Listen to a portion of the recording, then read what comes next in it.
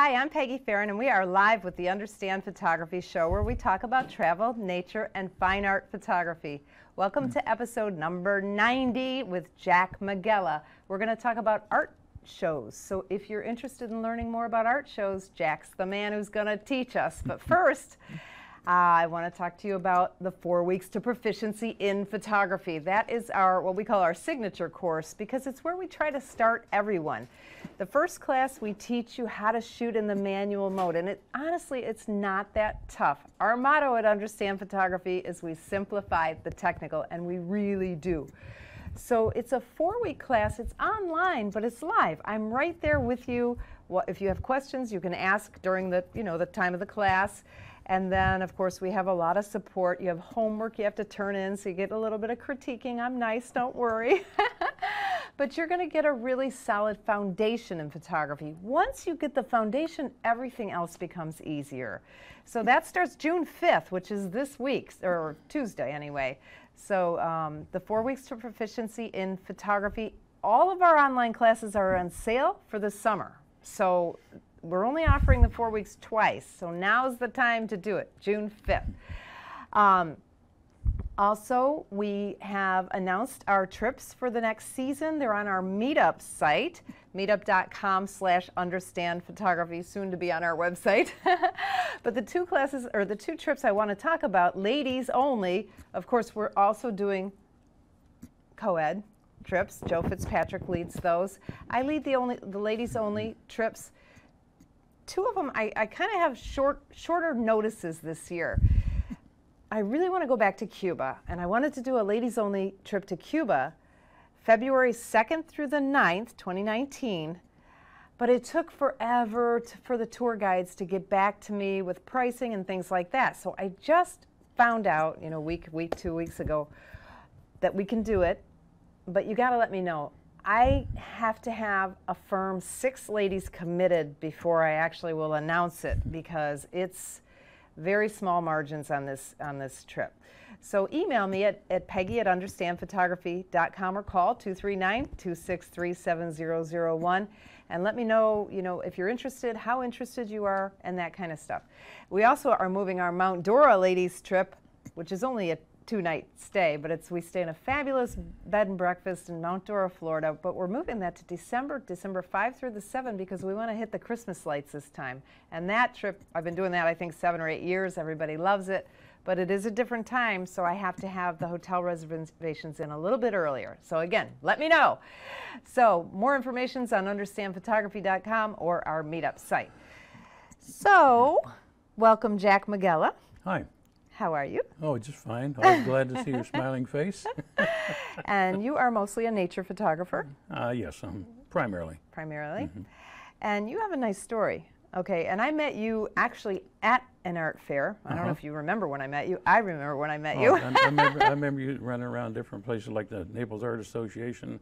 You were that person with the camera. Think, who the heck is this? You know, always sticking a camera in people's faces, and that's, that's that's been a long time ago. Yeah. Well, I used to work for your wife sometimes too. Oh yeah, that's she did right. the art that, shows. That, no, that's right. Isn't that something? That's right. Uh, yeah. Forgot all about and that. I miss her. She's awesome. Uh, yeah, she is. You got yeah. lucky when you got married. Yeah, I did. no doubt about that. All right, now you were a police officer. Yes. Uh huh. And then yeah. you retired. Yes. And became a photo artist. Is that yes. your story? That's true. Tell mm -hmm. me a little bit more about that. Were you taking pictures before you retired, or what happened? You, How did you, know, you the, get the into fir- it? The, the first, short version. Okay, the first picture. first one I ever took to pique my interest as I was in the Marine Corps, and I had a Brownie uh, Hawkeye camera with 620 film, is that right? And took a long exposure picture of the naval shipyard at night with the lights. Ooh. And I got hooked. So long from then I just I just played on you. it. Yeah. But in um, and that um, was long, long ago. You were young, and when you were in the Marine Corps, right? Oh yeah, well I was 18 when I went in. Yeah, sure. That was that's uh, ancient history. Yeah. but um, um, I had I had no intention of doing this. Uh, after I retired, I had uh, I was a state trooper six years and worked with the sheriff's department 17 years, and uh, I did photography, crime scene photography. Oh, you did? Oh. Yeah, and using a 4 by 5 speed graphic. And Wow. after after I retired, uh, Mary Ann and I sold most everything we owned, and we bought a 36 foot motor coach uh, and a four wheel drive Bronco SUV for our dinghy. Oh my God. And we traveled uh, 49 states, including Alaska, for 15 years. I did not know that about Yes. you. Uh-huh. And I did photography everywhere because it, it, it started to become a passion, you know, photographing the whole country, all, all the beauty of all the national parks Oh, and, crazy and so beautiful. forth. And we used uh, Florida for our, um, our home base. Uh, Are you from here? no, no, no, I'm from Northeast Ohio. Canton, so you Ohio, were a Youngstown. trooper up there and everything. Yeah, I was in Oh, Ohio. okay. Yeah, Ohio. Yeah. And this was our home base from uh, November 1st through May 1st, and we'd take off, and then we'd travel again. Yeah. But uh, I had no intention of doing this, and, and, and I started developing some pictures and making eight by twelve, eight by twelves and whatnot, and showing them around different people around the RV resort. And people says, "You really ought to sh- sell those pictures." And I thought, "Oh, who's going to want to buy this stuff?" You know. Uh-huh. And uh, so um, I was downtown one day, and uh, I don't know if you remember this, but across Fifth Avenue, right on 41, across Fifth Avenue, a banner, Art in the Park, Saturday from 10 to 4. And I thought, wow, what's this all about, you know? So I went down there on Saturday and, and I saw what was going on. I says, wow, what a place. Look at all this activity, all this interest, all these artists, you know. And I thought, well, maybe I should I should submit some of my photos and see if I can join. And that's that's what started it all. Wow. Yeah. And then that that was uh, that was 25 years ago. Oh my this gosh. year, this is my 25th year. And that's through the Naples Art Association, which A- a- they and the still Naples do. Arts Crafters and the Marco Island Art League and the Bonita Art League. So you got involved in all of them. Oh yeah, Virginia, uh, Ohio. Uh, uh, So you went on the road to do the art shows after yeah, that. yeah. mhm, But your yeah. first art show was at the at the Art in the Park, yes, which uh-huh. is a smaller art show. Yeah, Even though uh-huh. now they've been doing it for at least 25 years. Oh years. yeah, oh, yeah, been doing it longer than that, sure. um, but that gave you your got your feet wet. Yes, exactly. Yeah. and then you uh-huh. were traveling anyway, so you decided just is that the story or Yeah, well, we travel. We travel by motorhome, so we would live here and go to Dahlonega, Georgia. Go from Dahlonega, Georgia to Sumter, South Carolina. what was the Georgia word? Uh, Dahlonega. Wow, I never heard of that. Yeah, the wild, it's an annual wildflower festival. It's a big deal up there.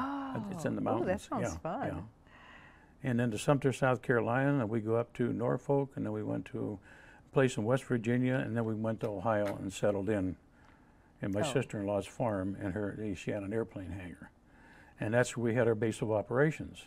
oh my gosh. And then we do art shows in Pittsburgh and different Things places in Pennsylvania. Yeah, uh huh. And um, all over Ohio, uh, Indiana, um, Illinois, uh, clear out the Denver, uh, uh, Colorado. I mean, uh, Montana, Whitefish, Montana, Wow. and all That's points in between. far. 62 cities in 17 states. We did art shows. Wow. And Were you one doing year like a, an art show every week? Oh yeah, well, well one one Pretty time we did 48 shows in in, In one one year? year. Yeah, that was crazy. Oh my Yeah. Now Marianne, she was just support. She wasn't selling any Oh no, artwork, no, she was act- she actually uh, uh, ran the business. So Gave she, me the business too, you know. but she actually ran the business. She did all. You know, during those days we were using uh, slides, Mm-hmm. and we had a slide projector, and she was just ruthless. You know, any little speck anywhere on anything, you know, to submit for art shows. You know. okay. So she she was on top of that, and she looked at the shows and scheduled the shows and so forth, and she really ran the business. I did the dummy work. Yeah, you did. Yeah, you got your nice compliment to each other. It sounds oh yes, like. yeah, yeah, exactly. Her degree's in commercial art from Akron University. Okay, so yeah, she so she has. she had that foundation, you know. Wow, that's So- awesome. hmm That's awesome. So, okay, so let's talk about since obviously you're a seasoned professional at this point, 25 years. Mm -hmm. That's a long time. It is. But you don't travel as much now, right? No, we're sleeping in our own bed now.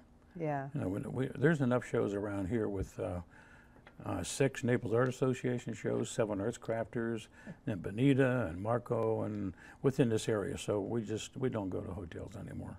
It's Yeah. there's enough to do without that, you Yeah. know. So, Hey, I had a guy on my show, um, Barry Howe. Do you know him? oh, oh yeah, Barry. Oh yeah, I've, I've he doesn't even long time. venture out of Marco Island. yeah, I and know. he makes enough money Yeah. from just doing the farmers market and the art shows on Marco Island. Yeah, yeah, uh huh.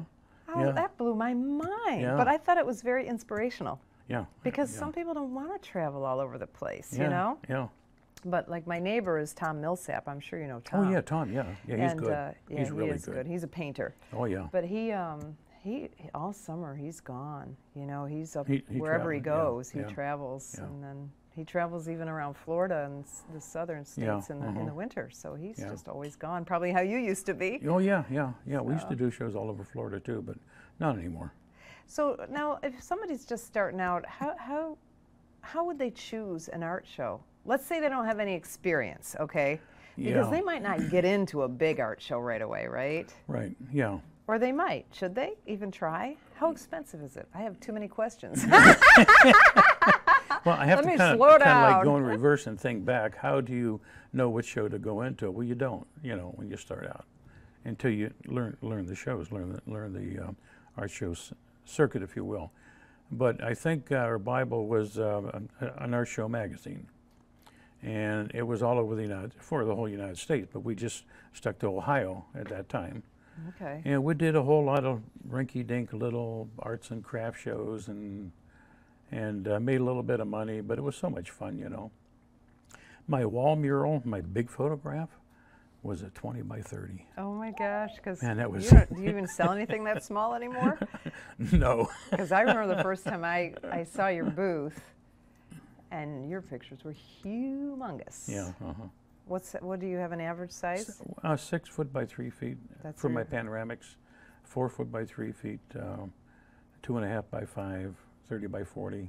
But that, that's about as small as I go. Now, what kind of camera do you shoot with? Most of everything I have is uh, from four by five. Uh, it was a Linhof. Then I went to a um, a Toyo field camera because the Linhof, it was it was a real camera. That son of a gun was was heavy. I, I photographed Bayfront on, on over Gordon Renner Okay. River, and I parked at the uh, uh, restaurant down there, and I carried started carrying over the bridge. I go 50 feet, stop, pick up the other hand, stop, use this hand because it was so heavy. Yeah. Oh my gosh. Yeah, so then I got into a Toyo uh, field camera. Uh, carbon fiber, it was the first one made. And that weighed something like 4.5 pounds.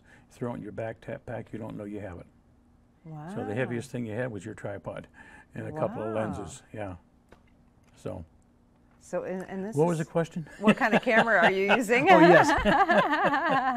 and also a Pentax two and, uh, two and a quarter okay. is what I use. Uh, I have a Canon uh, uh, 6D right now uh, that I've been playing with and, and making some photographs. So these are film cameras that you're using. Yeah, yeah. So until I got the still 6D, shooting? yeah, uh-huh, yeah. Or are you shooting more with the 6D now? Yeah, I'm starting to shoot with the 6D, yeah. Do you have the Um, number two or the first one? Well, that would be the third one. No, I mean, the Canon 6D, they have a Mark II. Oh, they, they had a whole line of them. No, no, we had a um, an XSI or something like that that I did uh, uh, work for Marianne to shoot the, the crowds at the shows and for promotional things like that. Mm-hmm. And, but and never got for serious about that. just for our audience, Marianne, I don't know if she's what she's doing now. I just realized, but she was the She was the director of the uh, the festival director for the Naples Art Association, and she was also the show chair for Naples Arts Crafters for about six years. yeah. So she knows what she's doing. So yeah, you were oh. out there working with her. Oh, yeah. She probably didn't pay you either.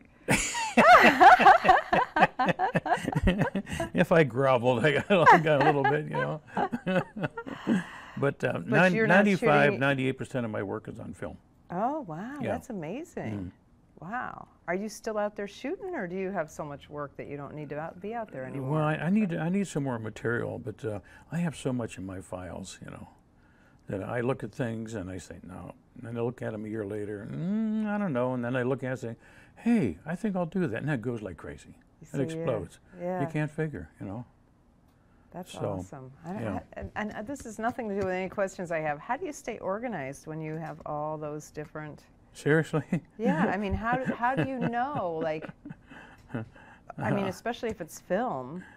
I mean, Yeah. for us, you know, we do you digitize it? Yeah, mhm, yeah, it's scanned. It has to be scanned. And then, and then, then, I print it. I do my own printing. but do you use Lightroom or something like that no, to, it's it's to an old uh, it? the old old uh, remember the Photoshop Seven. Uh-huh. You have to have Photoshop that has plugins and drivers in order to be able to print. You can't. Your printer won't print unless you have a, uh, like say Photoshop, which is, which is the engine for the car. You have to have the engine to take the car Okay. to send send a photograph to the printer so it can print. Right, right. So I know enough about Photoshop to make me dangerous. Ah, So but that doesn't organize your work for you, does it? no, it doesn't. No, How uh, do you organize. know? Like you, you, asked me you how. say, "Oh, I want to find that picture that I took 12 years ago because it was a bestseller and resurrect it, resurrect it." We really don't want to go there. Do you know where it is? It's been driving me crazy today. I've been trying to sort some files out because I'm doing a doing a commission for somebody, uh, photographing their building and whatnot, and trying to move things uh, to my backup to a hard drive uh, backup and whatnot. My stuff is scattered from here to there. And, So you're normal. and you're if I want to show somebody at the house, you know, click, click, click, look here, look here, they can't find it. You know, sometimes I can't okay. find it. All right. Good. Just to, So just I, to, I am to know I'm you're not normal. organized, but but I, but but I know I know uh, uh, the things that I'm doing now that I'm printing for the show. I know where they all are. Yeah. You know.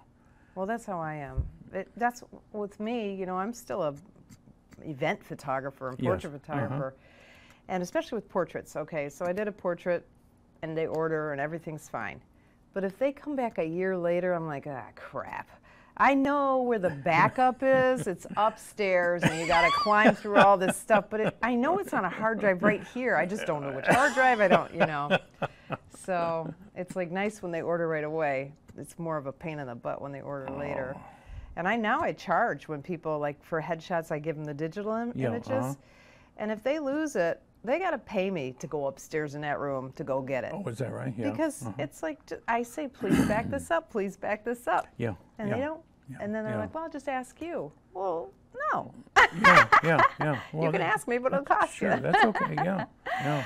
All right, so okay, so choosing an art show, you used a magazine, which I think they still have. Yes, uh huh. That same magazine, but I can't think of what it's called. What- uh, do you know? Sunshine Artist. Sunshine Artist. Yeah. Is that That's kind of like the Bible of, of knowing where all the shows are. okay? and and you can we're going back then you know how did you choose a show it was all hit or miss you didn't know what you were doing you were just getting into shows So do you advise people just do local shows to start oh yeah because uh-huh, it's too sure. expensive if you're going out of town, right? oh yeah first thing i'd advise them to do is is go to uh, go to the art shows just go Oh, and Look. look at them. Oh. you know talk to people uh, some people don't want to talk to you about getting real technical you know Yeah. But uh, Marianne always says I talk too much because I'm talking the whole time. I'm coming like teaching when I'm in my booth at the art shows, you know, Yeah. talking about my work and teaching and so forth. But uh, you know, I talk to people, and she says I, I give away too much because I've said a lot of things about some of my work that people run off and do the same thing. Oh.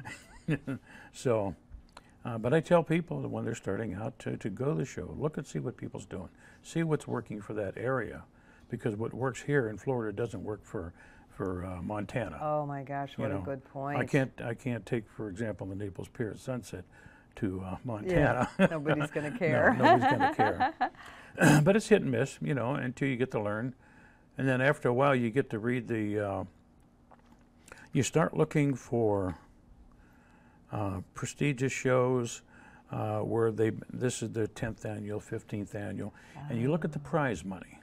Oh. Not that not that I ever consider prize money. I've, I've won some prize money, but I look at the prize money because that tells me how serious that organization is about that show. Oh, You know, like good. if it's a Rotary, Rotary show, if it's a municipal uh, uh, sponsored show, um, if it's a, um, a, a commercial uh, outfit, you know, that, that's doing shows around the country, and you look at those kinds of things, that tells you whether or not you want to be in that show, because that's where the money is really. that is such and you look at the great. crowds. I never heard that advice. That's great you do advice. the crowd count, which is usually a big lie. Oh, like they People say, wanna- oh, yeah, thousand people yeah, came had- through, and oh, real- about a, you- yeah, what do you uh-huh. think? Half of what they say? Oh, oh it, it's hard to say. Yeah. you, you, don't even you don't even pay attention to it. You just know that it, it, they're just they're all overinflated. Yeah, sure. Yeah. I like that about the prize money. I never thought of that. Yeah. Mm-hmm, yeah. Okay, so how how do you choose? You know, talking about advice to our audience, mm-hmm. how do you choose which pieces to be juried? Okay, so most of these shows, or all of these shows, probably, you have to jury in. So you have to send them either digitally or physically three or four pieces. Yes, uh-huh. That yeah. the judges are going to look for and say, okay, I'm going to let you in, or you're not good enough. I'm not. It's not even an issue of being good enough, though, is it? Well, you know, you know, your bigger shows that have uh, strict jury standards, yeah, sure, yeah, you better know what you're doing. I mean, your images better be. Good. But good. I mean, you could have good images and still not get in. Oh, absolutely. Oh, sure. That's I've, what I've I been, meant by that. I've been turned down a lot of times. Heck yeah. So how do you choose the pieces to be juried? People, people like the familiar. Okay. Okay. Now, when, I was doing shows around Ohio and Pennsylvania and so forth, I had my complimentary pieces, complimentary pieces of mail pouch tobacco barns, waterfalls, uh, gardens, um, things along that nature. I didn't. I didn't have have a lot of seascapes. Right. You know. Because in Ohio there's no, no sea. No, huh? In Montana, I had uh, I had a lot of images from all my travels. I did uh, Glacier National Park, a lot of Yellowstone things, uh, wildlife, uh, uh, bears, you know, grizzly bears, okay and uh, moose and muskox. And when we were last, went all the way to Alaska, shot some muskox. And uh, I don't know what a muskox is. It, it's kind of like looks like a prehistoric buffalo with a lot of hair. Really? yeah, the so horns cool. are a little bit different. They stick up, but they're they're bigger than a buffalo, and they look like they're wearing a fur coat. Okay, I think I know what they are. I didn't think I'd ever see one of those. We went all the way up. We drove to Prudhoe Bay, wow. which is 550 miles of nothing but nothing to get there. Yeah. And that was in your RV? No, no, no. We'd Oh, use the Bronco for that. Oh, oh, okay. Yeah. When we were in Alaska, we would park the, the uh, motorhome and we'd go out in our Bronco, like the spokes of a wheel, put the motor home here and go out. We went as many as six days at a time. Oh my gosh. Yeah. And we put in food, survival gear, shotgun, and just go hiking, exploring, you know, taking pictures and, yeah. Oh, Uh-huh. fun. What an exciting 16 life. Oh, yeah, yeah. We ran into 16 grizz- grizzly bears and three black bears and never, ever threatened by man or beast. That's awesome. Yeah, during that whole time. Where were we? Um, okay, we were talking about. That's The- okay because I like it. The interest of, of, of how do you know what to show? yeah. yeah. But I like that. I never heard that advice either. So far, I've gotten two pieces of advice that I've never heard Yeah, from you. okay. But that's so something that local People like the familiar. people. Okay, and the judges are the same way exactly. because yeah. they're probably local judges.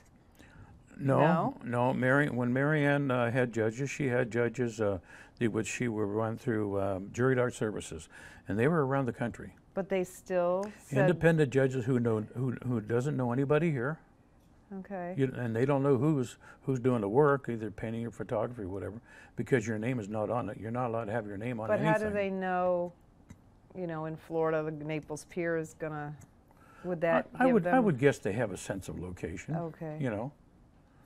But they were all independent. And they would they would have a scoring system, from one to say one to twenty five, and they would score you. Okay. And say like in photography, for example, say there's there's thirty or forty photographers applying for that show. Mm-hmm. Well, they would score the points. They take the average of all the judges, and start all the way down. They take the top. Say they have say they have five spots. They, one, two, three, four, five. Then they have a couple on standby, in case somebody doesn't show up. Uh, she's had people from the Smithsonian Institute uh, on on the juries judging Okay. judging the work. Yeah, they're totally independent. They don't know anybody. But there's also local judges uh, on different shows, uh, different sponsors. They have their own way of doing it. But that's how she did it. All right. So okay. So, um, all right. What about like? So now you've decided. I mean, okay. So how do you? Just, okay. So you say I'm going to take. I'm in Florida. Let's just use that because that's easy for me. I'm going to do the Naples Pier. You want a cohesiveness to your pictures, right? Yeah, want you 'em to- you want them to kind of uh, not be exactly the same, but you want to um, I always submit, uh, for example, if I have uh, some vertical things, I want to do. I want to do verticals. I'll do all verticals, Uh-huh. uh, or I'll do all uh, horizontals, Okay. uh, uh, or I'll do uh, square format, for example, like four foot by three foot. So they look like they go together. So they all kinda? look like they go together. Uh, they're local, and they all complement each other. You know, you don't want to cover a bridge right next to the Naples uh, Pier, for example. You know, Right. so you want to attract, and, and, and it has to, it has to grab you.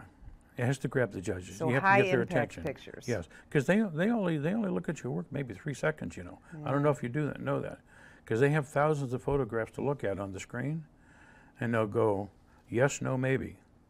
Those flash on the screen, yes, no, maybe. Flash on the screen, and that's how you're judged. Yeah. So you better you better get their attention right away. Okay. Pow! You gotta high hit 'em. impact. Yes. So Not too bright, not Oh, too not bright too because bright. you don't, they don't want the light in their eyes blinding them to go like that. Have Ah. a certain image, uh, three images that are mediocre in terms of exposure or light, Mm-hmm. and, and, and a bright sunlight, sunshine hitting you in the face, you know, like that. They don't like that. So, Ah, that's interesting too. so you have to be careful of uh, uh, what you submit. That is interesting. Mm-hmm. Wow. Okay, so local or the whatever, something that will appeal to the local area, Mm-hmm. you know. which makes sense to a selling because you're there to sell, so you want to make sure that your stuff is going to sell. A cohesive look, Uh huh. and then uh, not too bright. Yeah. Anything else to get your work accepted? Oh, well, high impact. You said that. Yeah, Oh, that's yeah, a big. yeah. That's a big thing. High impact, yeah. And I've seen I've seen people from from other states. Uh, there's one particular fellow that did uh, western kinds of things with eight by ten film. His work was dynamite. I mean, it just jumped off the walls at the art show. But he said, "I'm never coming back to Florida." He said, "Nobody's buying anything here." You know, no, oh, kidding. they weren't really interested in, in that. Western and- stuff down here Except individual, maybe sell a piece or two. But you aren't going to sell a lot. So That's interesting. Although I was really surprised because um, a guy that we mutually know, I'm sure, I don't know if you know him or not, but he was selling um, Italy landscapes. at- yeah, And he was doing very well here. I, w- I that surprised the heck out of me. But I don't know if he's still doing it or not. I, don't, I haven't lost. yeah. There's there's several that do that, and there's some that are really, really, really good. I guess everybody loves Italy. I went to Italy Yeah. for the first time last year, and now Oh, yeah? I, now I get it. I see why everybody likes it. Mary Ann told me that was trying to talk me into going to Italy and, and get some of the images, and, and and I go to the art shows and, and see Italy, and this guy's got that scene, this guy's got that scene, this guy, and they're all the same. they are the same They're, because they're, they are collectors. They're not artists uh, creating something on their own. They're collecting certain places that everybody goes to. You know, Well, I, familiar, I you thought the whole of Tuscany looked like all these pictures, and then I, I hired a photographer to take me. I mean, I don't know where to go, so of course I would hire Yeah. a tour. That's what people do with us. They they want to come to the Everglades. They come to uh, understand photography. We'll yeah. take them to the good Yeah. places. Uh-huh. Um, but he took us to this. This was in Gladiator. This. You know, this was in the movie Gladiator. This, so I got the Mm-hmm. Oh, same yeah, oh, yeah, yeah. everybody else Oh did. yeah, yeah, yeah, right, yeah. Yeah, So yeah. yeah, but I've been to. Italy though, so, so- but I didn't. Uh, it wasn't. Wasn't a photo trip. No, no. I'll tell you a little story. Okay. Four of us, four of us Marines went to uh, the, the Leaning Tower of Pisa, and Florence, and and the church and everything. And we hit a couple of bars. We got drunk, and it's getting close to the the, the uh, sk- uh, skid's going to go back to the ship, the main ship. And if we're late, we're in trouble. Yeah. we couldn't find anybody to take us back, so we stole a horse and buggy. and we rented down to the beach. we parked at a block from the beach and got out and ran on the boat just in time before it pulled out, and off we went. Oh But don't my tell anybody. gosh. Don't Don't, tell- anybody. You just put it on the, the internet. the statute of limitation is long Probably by now, yeah. you can't be court martialed anymore. No, no, no, no. Can they take away your pension, though? oh, no. well, oh, I don't know why I threw that in there. I like it. It was a good story.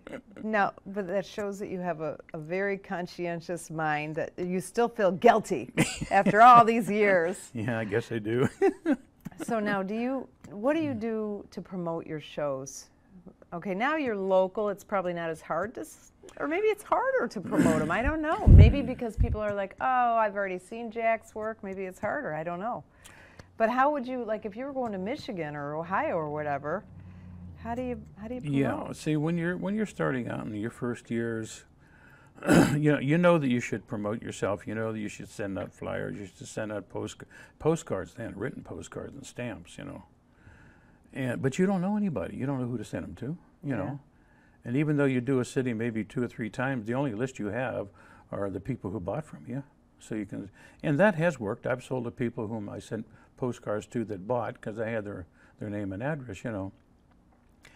I can't say that I really got into that real big like a lot of people do. And I may have hurt myself in a way by not doing that, but I don't know. yeah. I don't know. Yeah. But here, I don't. I really don't. I can't say that I promote myself that well here, because I'm I'm local and and people know me, and I have repeat customers. You know, I have one collector down in Port of the Islands has 21 of my pieces. oh my Yes, gosh. yes, it's it Where shocked me. she he she put them? I walked into the Do house. they have like a huge house? Oh yeah, oh yeah, oh yeah. They have a very Port of large the house. Islands yeah. has big houses we, we like that? delivered one to the uh, to their house and walked in the front door, and right away I started seeing my work on the walls, and I'm thinking, wow, all this all this work. She was, she took us to the house, to the hallways, to the bedrooms, to the their all over the house. Okay, and I'm thinking I should know their name. I should know their firstborn. You know, I should know everything about those people. But what happened was I would sell to the wife.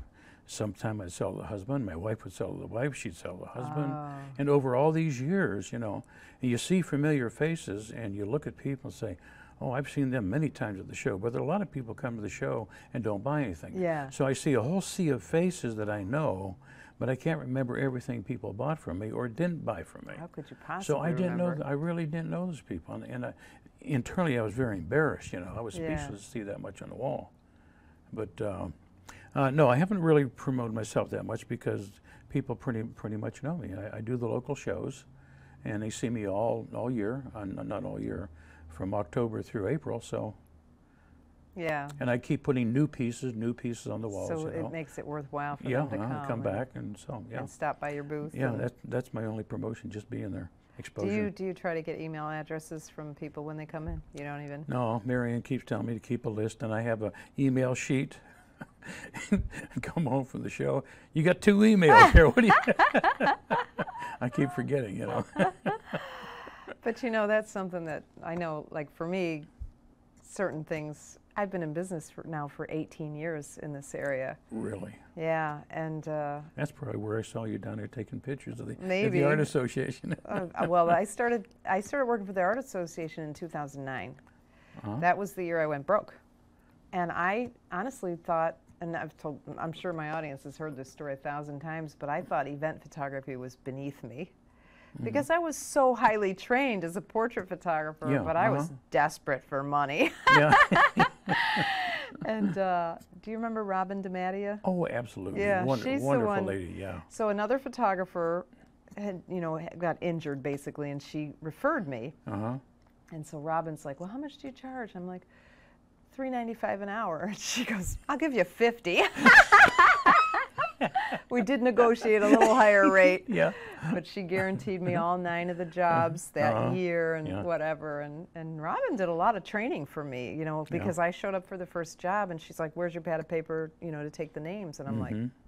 I don't, I didn't know I had to have that, you know. So Yeah. she helped me a lot. I was lucky because she was, Very. she 'cause was a she's good- the consummate professional. yeah, and she really, I got lucky because I learned with my first job a lot of things that event photographers have to do. And now I have a huge event photography business. so yeah, there are sure. Oh, four yeah, of us sure. in the business, and we do all oh, kinds of oh, work. that, that's great. Congratulations. yeah, four yeah. people. Wow. yeah, well, life life changes. Yes. Yeah. And photography changes. Yes. Yeah. And mhm. in fact, that's something that I'm sure you know because you've been doing this for a long time. One of the things that shocked me when I first, well, shock isn't the right word, but when I first started working at the Naples Art Association, there were very few photographers involved. And now it's mostly photographers. Yeah. So you remember Carl Stowey from Marco Island? No. He was the only photographer in in, in, in 1993 when I joined, and I was the second photographer. And he he he retired when he was 85 years old. Oh my gosh. Yeah. Uh-huh. So you got a ways to go. And now now now, now everybody with a camera is a photographer. Everybody everybody, you know. Yeah. Yep, yep. That's why it's it's it's actually, you know, very gratifying to me as an instructor when people start really understanding what they're doing. Yeah. It's Mhm. frustrating to see all these people out shooting in some automatic mode and you know, Yeah, yeah, snap, snap, snap. Yeah. You know, that's. And but they get good at Photoshop is what they get good at because they have to fix their pictures. garbage in is garbage out. sometimes, sometimes you'd be surprised. Sometimes you get lucky. Yeah, I, yeah, I know. All right, so let's say, so our our uh, test subject has uh, gotten in. They've gotten past the jury. They've gotten into the art show. They already bought their booth. How would you find information on how to put a booth together? Do you just search on the internet, or no, does you the look. art You- association you, go to the help art. you? You go to the art shows. You look. You look at. Uh, you, you look. You look and learn. You, you ask questions. You know. Okay. You look at a, a something uh, sturdy, and um, we have one of the, the best booths in the industry in terms of, of quality and sturdiness. Because when you when those storms hit, you, know, you have an easy up. They're, they're easy downs too. You know, you work Ah. blow away and, and whatnot. But asking questions, looking and, and comparing, and so and we, so we- your advice is to spend a little more money on the tent because of that. yeah the tent. Because I know and the, here uh, we get rained out of those ra- art shows. I feel so oh yeah sad for the yeah. people who travel so far to come to an Oh, art yeah. show and then it rains like yeah. crazy Oh, for that two happens days. to all of us. Sure. Yeah, you tra- you travel and spend a thousand dollars. You know, you get your hotel, you get your space, you get set up and everything. It rains for two days. Nobody come to the show. Come. Yeah, You still have the bills to pay. but you know. so you have you say suggest a sturdy tent. Is there anything else about the booth itself that that's advice that you have? Well, you you need uh, uh, uh, well for two dimensional work. That that's my area, so I, I, I'll talk about that. You need sturdy walls, and the walls have to be an integral part of your booth. Your walls support your booth. Your booth supports your walls, and you have to have uh, very heavy weights. They recommend 25 pounds per leg. I have 60 pounds per leg, and I have an extra four 25 pound bags Now, for the big storms. do you but, set uh, that stuff up by yourself, or do they have helpers at the art shows? Or No, Marianne and I used to do that by, by ourselves, but but uh, the reason I retired is because I had a lot of injuries with surgery, and uh, I re- I retired at the age of 45. So uh, I used to do a lot of my own you work. retired putting- from being a from police work, yeah, police work. Okay. And used to do it myself. But as, over the years, it kind of ground me down, and I had I had back surgery a few years ago. I've got some steel rods and screws and all oh that stuff. boy. So I have to have help uh, because it's a very heavy, heavy setup. No it's, kidding. It's a lot. It's a lot of weight. I think it's 2,400 pounds altogether. Everything that I have with the tent and the poles and the work and the, and the weights and everything that goes with it. What you see set up there is 2,400 pounds. So how do Believe you? it or not. Let me ask you So- first. how do you get it there? Do you have a big van or Yeah, I have a cargo van. Yeah. Okay. uh-huh. So you get it there, and do they have help? Most of the shows that you can hire. No, no, no. I have You to ha- hire my own. I have a, I have a guy that helps me out. I'll hire him to do all the heavy work, Okay. and I handle the artwork. He handles the booth. Ah, Putting it up. Okay. He, uh, he's very, very strong for a strong guy. He's very but- strong for a strong guy. I'm teasing you. Yeah. So and and he's very intuitive. And so how do I you don't find even have somebody to pay like attention. that? As a matter of fact, Marianne hired him uh, to uh, uh, uh, to work the ground crew for the Naples Art Association for the national shows, and she always gets people from uh, the homeless shelters to give them jobs, Mm-hmm. uh, so they can earn money. Yeah. And and this one particular guy seemed to be a natural born leader, and she chose him to take care of the ground crew. Okay. and everybody was all mic'd up and every once in a while Marianne would come across and somebody give her some smart talk and he said, hey I'm going to be talking to you about that Aww. but uh, yeah for, uh, to to, uh, to do that you have to have uh, you have to have help most people don't have help they set up their own but mo- they? most of the people local here are, are doing their easy ups and whatnot uh, okay. Wow. You have very serious professionals, and you have all kinds of people learning in different stages of learning Yeah. and, and, and getting their work to higher and higher quality every year, you know, because they're getting good at what they do. So if, if like say I wanted to do it again, which I don't, uh, and I don't want to set that thing up by myself though. Mhm. It, and I'm doing a show in Michigan. how would I do? I mean, the bigger shows, do they have people that they recommend Yeah, help? yeah, kind of think what they do. They have a, But the a- an small shows don't. organization. Uh, no, well, it, it, it isn't for the shows. They're Oh, oh. independent businesses. Oh, oh, and I think. I think um, I can't think of the name of the organization here. Tents for sale or tents for tents or whatever it is. oh. And they'll come in and set up your booth, set up your tent, and if you want walls, they'll give you walls. Okay. And of course, you have your sides and everything in case it rains. They have the weights, and all you do is bring your artwork in, you set it up. At the end of the show, you take your artwork out. So you got to make sure you're going to make enough money to pay for that. Yeah. Uh-huh. you have any clue on how much that costs? Yeah, it varies. Uh, if you just get a get a booth uh, and no walls, it's I, I don't know the prices. No. I think I don't think you can go much more than like three hundred fifty dollars for everything. I think I was just talking to somebody about it a couple months ago. If memory serves me right, you can spend like a hundred fifty dollars, or if you want this, you get two hundred dollars. If you want that, it's three hundred dollars. But that might be a viable option for like our audience. You know, a lot of them are like you. Only they didn't retire at 45, but they retire and they, you know, they want a new career Yes, right. and yeah, they love uh-huh. photography, Yeah, and mhm, it's very yeah. gratifying to sell your artwork, isn't Sure. it? Oh, it sure, it sure is. Yeah. Oh, yeah. You're like, people like my stuff. yeah. Oh, the first time I sold some things, I thought, wow, I, hey, I really can sell something, yeah. you know. Yeah. And, and then you get the bug, you know. Yeah. And then and then after a while, even even at my age, as long as I've been doing it, it's still a passion, you know. And when I lose that passion, I'll quit. But as long as I have it, and and my body's able to move, yeah. Yeah. I'll, I'll do it. All right. So now I got the stuff hanging on the wall. What kind of information do you include with each piece piece that you sell? So you've got this beautiful picture and this beautiful picture. Do you have like a little card next to them? No, the or- only information I have is the size and the price and the title. Okay. Okay. So I watch body language when I'm at the art shows, and I um, and I'll talk to. I greet everybody. Everybody comes in. I greet them. You know. And, uh, and if they, and they're moving around, they're looking and whatnot. And if somebody pauses or hesitates to look at something, I'll start talking about that particular piece, Okay. how I did it, where it was, you know, what inspired me, and so forth, to get them interested in it. And you can tell when somebody walks up to a piece and there's that magnetism, you know, that they can't take their eyes off it. You know there's a connection, you know. Okay. Sometimes they don't buy right then and there. They have to bring their spouse or they got to walk around a couple of times and talk to themselves self into it because my pieces start at $450 and go to 1,500. dollars Mm-hmm. So everybody doesn't have that in their pocket, you know. Right. Right. So and you do take credit cards and all that. Kind yeah, take stuff, credit cards. so- all that that's a must because Yeah. you have so many spontaneous buyers. They had no intention of buying anything. You have to take credit cards. Yeah. Yeah. That's easy nowadays Yeah. with Square and all that. Yeah. Yeah. But there's really no information about the pieces. I, I give people the information. So you just talk to them. oh, absolutely. and yeah. now, do you have stories about your work, or do you mostly just talk about where you took it? No, if they're really interested in it, then I'll go into the story with it uh, and, and talk about uh, um, where it was and how I created it and so forth.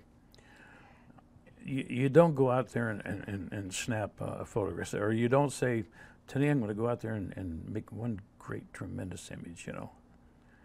You have to go to the same place time and time again summer, winter, spring, fall, morning, noon, night. I even have things I did at 3 o'clock, 4 o'clock, 5 o'clock in the morning. Then I'm out there Ah. doing things, you know. But you study a location and you keep photographing it and you keep studying the light. And I have two pieces that took me three years before I actually got them. What I, when Wow. I knew was there that I could never grasp before.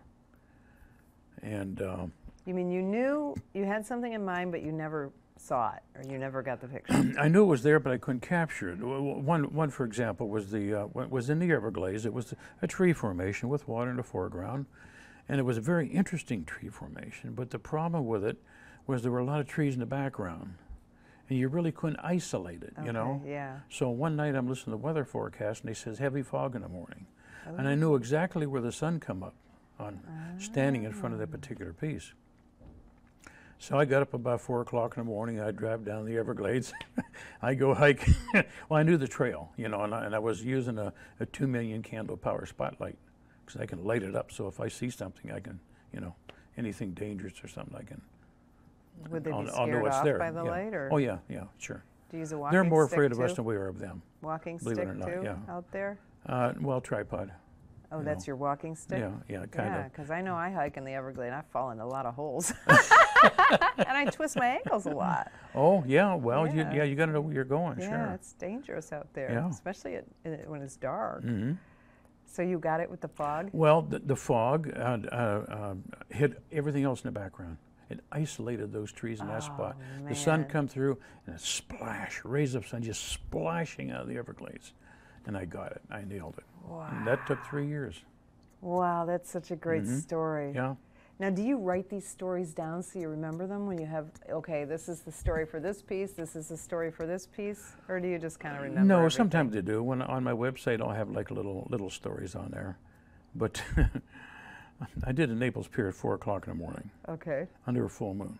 Oh, Okay, it's a 12 minute exposure. Wow. 12 minute exposure. I did 8, 10, 12, and 15 minute exposures on it, okay? And I used my 4x5. I'm u- using uh, uh, Fuji Provia 100F F film 4x5. and film goes into reciprocity failure after three seconds, you know, as you know. So your colors are constantly shifting and changing during that exposure. You don't know what color you're going to get at the end of it, say. okay. And also during that time, the sky is moving, the clouds, the water's moving, everything. Where was the moon?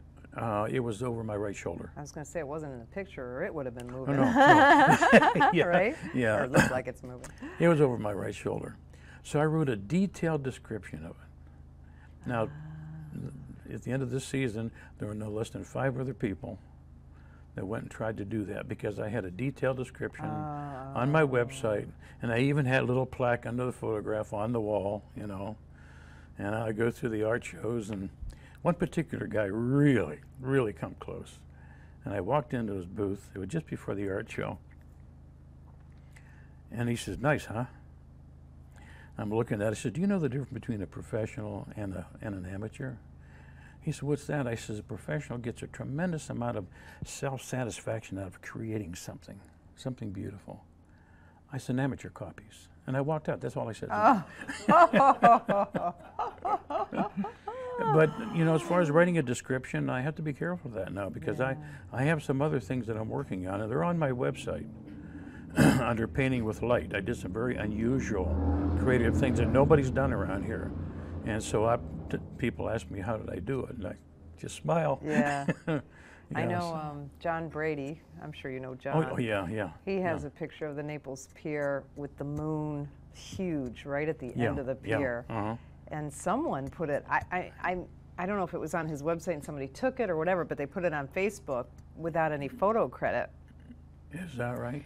And that's why I always tell people if you put it on the internet, put your name on it. Yeah, do because a cro- I, yeah. you know, they probably didn't do it intentionally to steal his picture, but it kind of went a little viral. And, Uh-huh. Yeah, sure, and then yeah. same thing. Everybody was like, "Who wants to go out and get this shot? You know, Yeah, I'm going to do this. Try to copy it." Which I, I've never seen a good copy of that picture. It was amazing. I don't know if you've ever seen it, but Oh yeah, yeah, I have. You know which uh-huh. picture I'm talking I do. about then, right? uh-huh, yeah, yeah, yeah. now, oh, okay. In so terms of description, that's what that's where we were with that. Yeah. So what about, um, okay, so you display your work. Is there any, any tips to that just in the booth at all? Is it like, do you just cram everything in every single space? No, or- that, that's that's the one thing you don't want to do. I remember a long time ago doing shows. Uh, one of the promoters says that that uh, less is more, and I filled every square foot of that booth with this size and that size and that size. Excuse me. It was sensory overload. You know. Oh, yeah. And my thinking is, well, if, if people don't see it, they can't buy it. So I'm going to put everything in there. You know. Exactly. So now my display is very well laid out, that it's not crowded. You have room to pause on each individual image.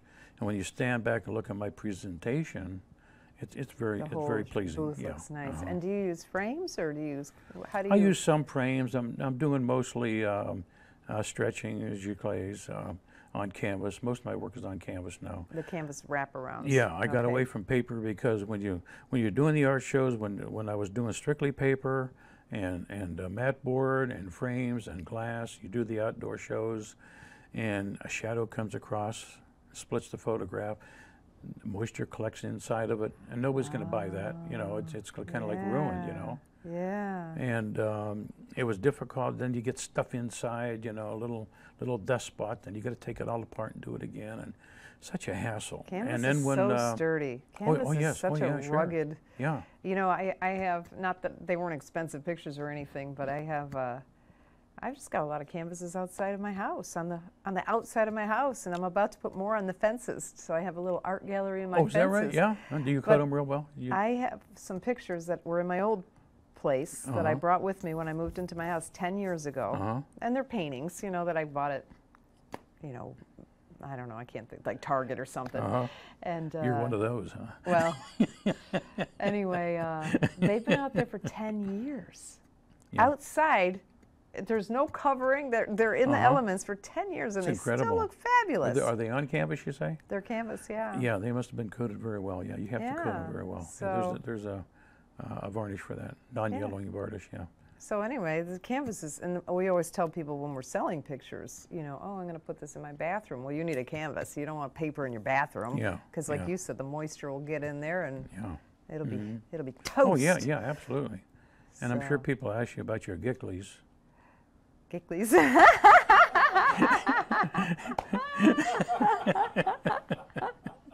Caught me off guard for a minute. I'm like, Gickly, what's that? She quit. Okay.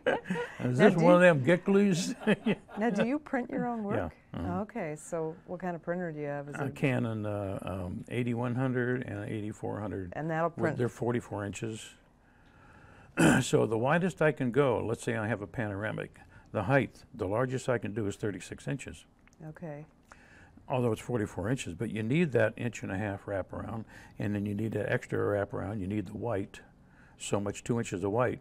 So you lay your canvas down, face down. You put your frame, your stretcher board on top of it that you construct, you know, and then you have to use the tool. And I do it all by hand. You do uh, even the stretching you do. Yeah, yeah, I do my own stretching. Yeah. Now, I hear a lot of artists do that, and that is because it's way less money when you do it yourself. Is that why?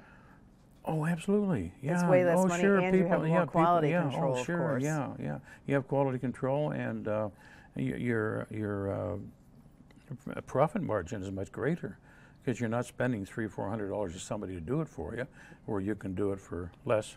Yeah, yeah. And uh, But you need a lot of space for that, then, uh, right? well, I have I have a, a table that's uh, 50 inches wide by 90 inches long wow. in my studio. it's carpeted, but I also have a, like a membrane on top of it. It's a cutting board. I have a million cuts in that thing when I trim everything with my cutting knives Now, is this in your home? in my home. Yeah. Because you don't have a studio studio where you sell your or No, gallery, no, no. every- right? Everything's done in my Right, home. okay, Yeah, yeah. yeah. So I don't have to go rent a studio. We did have a studio for, for like three years, Did you? three and a half years. Not of overhead. It wasn't worth it. You know, Yeah. you're married to it. You know. and then you got to be there all the time. Exactly. Uh huh. And off season, you got you have a month where not a single soul walks through the door. Yeah, You know. yeah. That off happens. season. Well, it's, not as bad now as it. u- Well, you've been here a long time too, Yeah. right? Yeah. you So we got rid of that. I yeah. got here. I've been here 25. When did you get here? I've been here 25 89. years. Okay, I got here 93. So you've been here Uh-huh. longer. So gosh, just, a few years. Yeah. man, did the everything closed up, right? See you Oh, in oh, yeah. October. See you in Oh, October. Oh, yeah. Oh yeah. Sure. Yeah. Yeah. Yeah. Yeah. And then seasonal. then then we, when we were in Alaska, we stopped at a restaurant. It says closed. Uh, uh, for the winter, going to Florida. that makes it, sense. works, it works both ways, you know. Yeah. well, that's like Tom Millsap, who I was talking. He goes north for the art shows in the Yeah, summer mhm, because yeah. here we don't have any art shows in the summer. Right. Yeah. Yeah, we did, but not anymore. Did we? Yeah. I didn't even know. No, I said we did, but Oh, oh, you Yeah, did. We, when you were on the we road. traveled all over the place. What yeah. about lighting in the booth? How do you light your pieces? I do have lights. I'm, I'm, one of the very few people that have lighting. Most of the people who have lighting are jewelers. oh yeah, because Uh, they but need it. Two yeah, they, they need it. But two dimensional, uh, very few. But I have two um marine batteries, Okay. and I have uh, I use the LED lights. I have um 10 lights. They, they hardly pull any power at all. Are they the know. kind that go like on the top of your It- roof, it's on a um, or not roof? Yeah, it's ceiling. on a, it's on a bar. There's three lights to a bar, and they're plug-in. But I put an extra two on. You can buy the lights separately and hook them onto the bar. and then you can position them so that they Yeah, and across the top of my booth, uh, I use I use bars to stabilize the booth, and so I Oh. put those on top of the bars. Oh, okay. And then after I hook it all up, I turn the lights on in the morning, and then I adjust them accordingly to my pieces. And then when the show starts, then I go back and, And they don't give you the any battery. hot spots on the picture or anything like that? No, it's no, they're- no, they're it's a floods. broad- Yeah, they're floods. Yeah. Okay. Yeah. That's it. Yeah. it works Good out nice. lighting is so important. You- Oh, you're telling me, especially you got a rainy day or a cloudy day and whatnot. I've gone to, gone to shows where it's very overcast, cast crowded, uh, crowded, and my wife will be in the booth, and I'll go get a coffee or something, and I'll walk down the street, and I see this this this glow. You know, it's it's me, Yeah, and it draws people. Yeah, I saw this light, and I come down here, and Yeah. sure, Yeah. yeah. Um, what about those booths that have the big, like light box on top of them? Do you know what I'm talking The about? light box. Not a light box, but like a. they they're kind of they look like a little bit of a domish, and then there's a lot of light. I don't see them too often. Mm, I, don't- I don't know. You don't even know what I'm talking about, so you don't so. see them too often either. no, no, no. I can't, I can't think of what you're talking about. so, but you re- you recommend good lighting? Yeah, I do. It's a- it's a hassle. You know, it's extra work. Yeah, of course. Yeah, It's extra expense. It's extra work. It's yeah, But, But you're I- there. It's a business. yeah, mhm, And that's something that a lot of artists of every of every sort keep forgetting. yeah. oh, You're in a business. yeah. And you hear somebody say, "Well, this isn't a business." Well, it is a business. You know, It's a business. you need to run it like a business. Yeah. Okay, so you already told me how you engage a potential customer. You kind of you greet them, but it, unless they show interest, you don't really. Yeah, you let right, 'em- right. I let let them 'em- browse. I don't. You're I not don't gonna attack them. No, I've seen People people, hate that. follow them around, you know, and just talk, talk, talk, talk, talk, talk, and that puts people off. Yeah, You know, They- yeah. They don't want. They don't want to be crowded. I know. I don't. I don't want it when I go someplace. No, you know. I know. Somebody follow me and yata the yatata. You know. Yeah, yeah. What about? Is there anything that you should not do while you're at a show? Oh yeah. Like, what do you see? Because you've done so many. What do you see, like other people doing that you're like, I oh see my gosh, what's wrong with these people? sitting in their booth, in the back of the booth. They're they're wearing sunglasses, Arms and folded, they're and they're like that just looking. all day long. They're like that, you know. Yeah, like you, I'd be afraid to go in that booth. Yeah, and people, people, I, I look at body language and I see people hesitate, you know, and they'll look and, and they'll get out of there because they're, they're just, they're not engaging, you know. Uh, you have, you have to engage. You can't, uh, uh, you have to be, be dressed well enough. You don't have to dress up, but you have to be Right. clean. You have to be clean shaven. I see people ragged clothes and, and kind of frumpy looking and, um, you, you don't want to do that. You know, you want to look professional, like you, Yeah. you mean business. You know. Yeah, well, your collectors are Yeah. not artists, probably. So, because I have heard that. Well, I'm an artist, you know, Oh, I yeah, want to sure, dress yeah, like. Yeah, yeah. but your collectors are not artists, so you, they have to be able to relate to you at some level. Exactly. Yeah. Uh-huh. But that's what you don't want to do. You know, you don't want to just sit there and stare at people, especially wear sunglasses. Yeah, know? so they can't make eye contact. You can't make eye contact. You got to make eye contact with people. Wow. You know. All right, well, so now I just looked at the clock. It went so fast.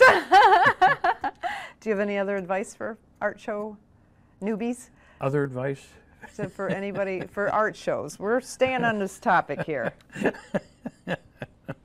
Um, I don't know. I think we covered it pretty well. Um, I know there's a lot more to it, but yeah. it's only yeah. an hour show. yeah. You, mean an hour went by? yeah, Seriously? yeah, I told you. It's. I was just looked at. I was shocked myself. I just looked at the clock. Oh, is are we done? Or- Well, we have to wrap it up. I can't just stop. Oh, right. we have to have we have to have a conclusion here, huh? So where can we find your work? Um, What's your website? uh, uh, well, my my name, Jack? jackmegela uh, uh, dot com. And it's M- jackmegelaphotography.com. Oh, okay. yeah. And or if you just is put Jack spelled. Megela, M E G E L A. Got it. JackMegelaPhotography.com. Yeah, just remember Okay. Megela Gorilla. You can't forget Remember what? Megela Gorilla. Magilla Gorilla. you oh, can't forget I my like name. that. ah. So that's your website. We already know you don't really have a Facebook page. Or I do. three. I do You put some three. things on Facebook when, when, when we're gonna do a show. I'll put something on. I'll say, Okay. I'll say Cambier Park Saturday, you know, come on down. Okay, something so like they can follow you on Oh, yeah, Facebook as well. So, But I don't put a lot of stock in that. yeah. Oh. Okay. All right. Well, thank you for being on the show. I oh, appreciate oh, it my pleasure. And we Yeah. are going to have show notes, so we're going to talk about this. And I forgot to ask you first, maybe you could give us a few pictures to put in the show notes so they can see a little bit about I you. want me to send you some JPEGs, you mean? Yeah, some low Oh. resolution with your name on them. Definitely low resolution. And because Heather will type up the show notes and everything we talk about, she, she puts them in bullet form. She's really good at it. So. yeah, okay. All All right. right. All right, I'll do that. So thank you, and and uh, thank you, audience, for listening or watching, whatever. Um, please let me know about Cuba if you're interested, and also about Mount Dora. Uh, next week on the Understand Photography, we're going to have John Bob Carlos, who is using his photography for activism. So that should be a pretty interesting show. Remember, we record this live on our Facebook page, which is facebook.com slash understand photography. Then we put it on YouTube by Monday, the following Monday, and also on on uh, as a podcast. So however you listen to iTunes or SoundCloud, however you listen to the podcast, you can listen to us while you're in the car. How about that? I'm Peggy Farren. Thank you for watching episode number 90 of the Understand Photography Show. We'll see you next Friday. Thank you for watching the Understand Photography Show. It would help us immensely if you would click like and subscribe to our YouTube channel. Get up!